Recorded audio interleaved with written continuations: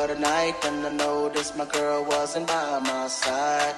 Could've sworn I was dreaming, for her I was fiending, so I had to take a little ride.